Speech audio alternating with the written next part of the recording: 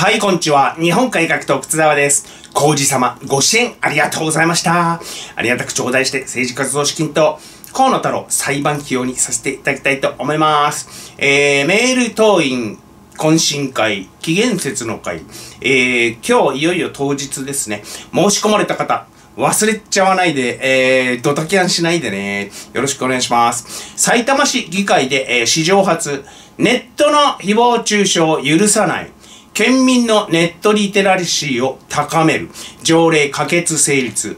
なお、罰則はなしだそうであります。えー、誹謗中傷許さない。えー、ネットでなの？えー、実際にあの、口で言うとか、文章で出すとかいうのは、あの、入んないのかな？えー、ちょっと謎ですね、これね。えー、世論です。悪人が炎上から守られるだけやん。日本人への誹謗中傷や日本人に恐怖を与える言動への対処は罰則規定はない。はい、解散。プールでの水着撮影会を中止にしたり、また変なこと始めたよ。えー、罰則はないっていう。そもそも、埼玉市がですね、全世界のネットを巡回できるわけもなく、えー、あとはあの、誹謗中傷があったからといってですね、その両者の間に埼玉市が介入できる権限などなくと。えー、じゃあなんでそんな条例できちゃったのかっていうとですね、公金中中したい、えー、市職員の天下り団体作りたい、えー、市長と議員がいい人ぶりたい、え欲求を満たすため、えこの3点ですかね。県民のネットリテラシーを高める。え不必要な事業、始まるよ、これ。ネットリテラシーを高める講演会を市が主催してですね、えー、で、あの、埼玉市ネットリテラシー協会、えー、ができてですね、えー、そちらが、作ったですね、テキストを使う。で、講師も派遣する。謝礼をもらうと。えー、聞いたこともない NPO ができて、事業を任意受注すると。えー、どっかで見たことあるケースだなと思ったら、LGBT 法と同じですね。えー、LGBT 法。LGBT 理解増進のために、LGBT 理解増進講演会かなんかやって、LGBT 理解増進協会が講師派遣してテキストも作って、で、古谷議員が監修した本が売れると。えー、そういうですね、あのー、利権構造っていうんですか。産経新聞、えー、女子中学、女子高校の意識調査を行いました。LGBT 法成立を踏まえ、性的少数者に配慮し、女性らしさを強調する表現を避ける。女性らしくなどの声かけをしない。え彼氏、彼女はパートナーと呼ばせる。えー、なんのこっちゃって思うんですけど、結局あの女子校なのに、女性らしくを教育すんだ。えー、ジェンダー少数者に配慮してっていうことらしいんですけどね。えー、などの影響が出ているみたいであります。理念法だから、罰則ないから、影響ないからって言ってたの誰でしたっけ？えー、LGBT 法できた時にさ、え、世論です。じゃあ女子校の存在も NG じゃないの？えー、そうだよね。だったら、あの、わざわざ女子校ある必要なくない？これ。おかしくない？男と同じように教えんだってなったらさ、えー、なら女子校とか女子部って言い方もダメでは。パートナーとか気持ち悪い。なんで英語やねん。えー、性自認が女じゃないのに、女子校に行く女子なんておる？戸籍上女性の性自認男性が女子校に入学するか？彼女、彼氏は差別用語になってしまったか？そうかもしんないね。彼氏、彼女っていう用語ですら、あのー、排除しようとしてんのかな世の中からかな。えー、したら何？伴侶とかになっちゃうの？パートナーじゃなくて、伴侶。で、よかったんじゃねえのかな？いわき市にかつてあったいわき女子高校、えー、今は驚愕になってしまって消滅しました。えー、には、そこかしこにですね、姿見があってですね、正しい身だしなみ、えー、自分を知ることに、えー、教育していた。あ私、立ち入ったことないんで、と聞いた。あ通ってる方に聞いたあことがあります。えー、女性らしさを教育しないんじゃ、女子校である必要ないんじゃないの？それにですね、女子の体で男子の心を持った少数者がわざわざ女子校を目指すか？女子校に入学すか？っていう疑問が非常に大きいですね。学校関係者はね、あの、必要以上にビグビグして萎縮しちゃってんじゃないの？えー、私ね、昔からの持論ですけれども、学校教育に性差学っていうのを取り入れるべきと思ってんですよね。えー、異性学でもいいや。えー、女子には男ってこういう生き物。えー、男子には逆を教える。えー、例えばあの、男にはですね、えー、女の人って、えー、パンツ買うんだっていう目的があっても、隅から隅まで回って時間かかんだとかですね、そういうもんなんだとかですね、えー、もうあの、女子が話してる間は、一切あの、話をかわせてはいけないとかですね、そういうの。で、あの、女子にはですね、男って必要もないくったらないことをやりたがるんだ、とにかく。そういうもんなんだ。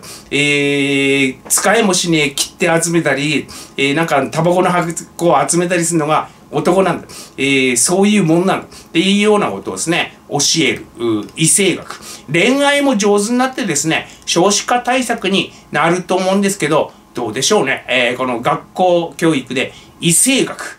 えー、男には、あ女性って理論的じゃねえから、みたいな、えー、なんていうの、問題解決は望んでないから、えー、大変だったねとか、すごいねとか言ってほしいんだから、あ、とかですね。まあ、あの、女性にはですね、男バカで、あの、同じ味のもの、最初から最後まで食っても、全然文句ないっすからね、あの、えー、カレーライスとか、あの、牛丼とかね、えー、とかね、えー、そういうのを教えると。えー、その他のニュース、内閣府が来年の祝日を発表。カレンダー屋さん、えー、指導できますね。動き出せますね。確定したわね。元日1月1日、成人の日、1月13日。これ私が小さい頃は1月15日って、あのー、固定してたんですけど、建国記念日2月11日、これは固定。天皇誕生日2月23日、これは固定。えー、これはあのー、あの、令和の代になって、えー、変わりました。前は12月23日だったんじゃなかったっけな。天長節ね。えー、建国記念日は紀元節。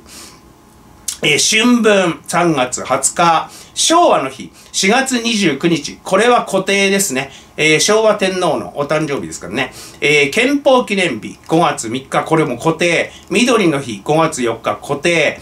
子供の日5月5日固定。海の日7月21日。これは動く。山の日8月11日。これは動く。敬老の日、えー、9月15日。これ固定。固定じゃないのか？動くのか？えー、今年はあのたまたま9月15日になったのか？春分の日9月23日。これも動きますね。えー、9月20日とかの日も年もあったもんね。スポーツの日10月13日。これ昔はあの体育の日っつって10月10日に固定だったんですけど、えー、これはあの1964年の東京五輪の開会式ですね。あの、気象データ、あの、全部調べて、一番晴れの日が、お、晴れる確率が高い日っつって、10月10日、あ選んだみたい。えー、文化の日、11月3日、勤労感謝の日、11月25日。えー、1月が2回祝日ね。えー、2月が2回、3月1回、4月1回、5月3回、ゴールデンウィークにはかぶしてね、えー、6月0回。6月は祝日ねえですよ。お皆さん、7月1回、8月1回、9月2回、10月1回、11月2回、えー、12月0回なんですけれども、まあ12月の23日が店長説じゃなくなっちゃったんですけれども、まああの、どこの企業も28日とかからは休みになりますよね。えー、祝日としては合計16日、えー、これで52週あから土日休んで104日休んで、まあ、120日休むってことになりますか？普通の人は。えー、365分の120。まあ、3分の1だね。3分の2、えー、会社に行って3分の1休むと。えー、私は動画上げんのこれ900日ぐらい、あのー、休んでないっす。今。肺がんの手術やった時にちょっと休んでそれ以来900日ぐらい、えー、休んで、え、おりません。石橋茂自民党鳥取県連の政治資金パーティー、えー、よくやれんね、このご時世にね、政治資金パーティーで、総裁選について、いつ何時、何があってもいいようにしておかないといけない。えー、言語明瞭なんですけど、意味不明瞭。えー、結局出るのか出ないのか全然わかんないですね。この人の物言って、えー、いつもこうですけど、石破派は消滅しちゃったし、推薦人20人集められないんじゃないの？マスゴミどもの人気は高いけどさ、えー、お前は、あの、いいから、高市さんの応援に回ってろっていう話ですね。えー、昨年東京都から流出したふるさと納税は3018億円。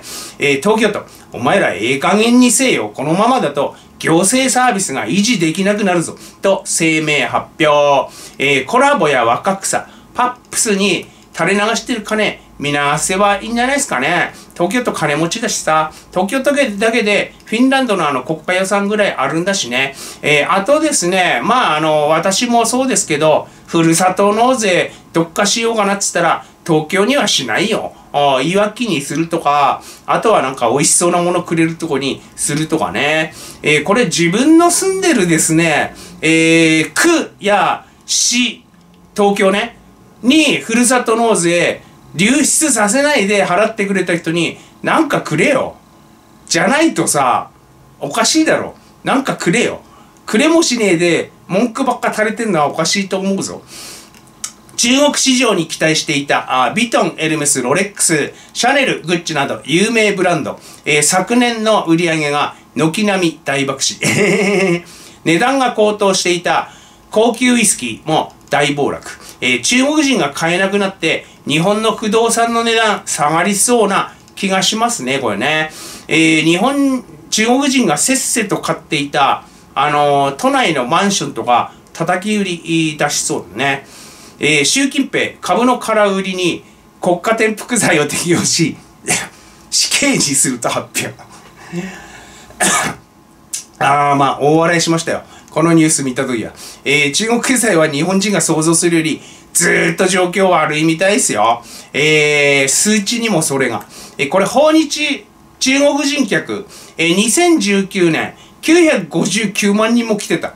あ、コロナ前ね。で、あの、コロナでずっとしぼんでて、コロナ明けの昨年、23年、242万人しか、あの、戻っ来てなかった。えー、74.7%減少。他の国は増えてんですよ。コロナ前より。他の国は増えてるんですよ。えー、中国だけ激減。ほぼ4分の1になってるの。えー、中国の春節は2月10日から、えー、もう始まってますね。8日間だってんですけど、えー、そんなに日本に来ないし、爆買いないって予想されております。えー、爆買いは爆消えだって。えー、そのつもりで過剰に仕入れてたとこは、在庫抱えそうだなえー、中国経済崩壊でですね、なんかあの、そっちこっちに影響出てくるかもしれません。あの、2ちゃんがやけに静かだなえー、五毛に払う給料なくて。えー、とかね。あとあの、河野太郎の日本端子が赤字になるとか、そういう影響が出てくるかもしれないなえー、というわけで、メール党員大募集であります。メール党員さんになって、えー、日本改革党をご支援ください。よろしくお願いいたします。デトックスジャパン。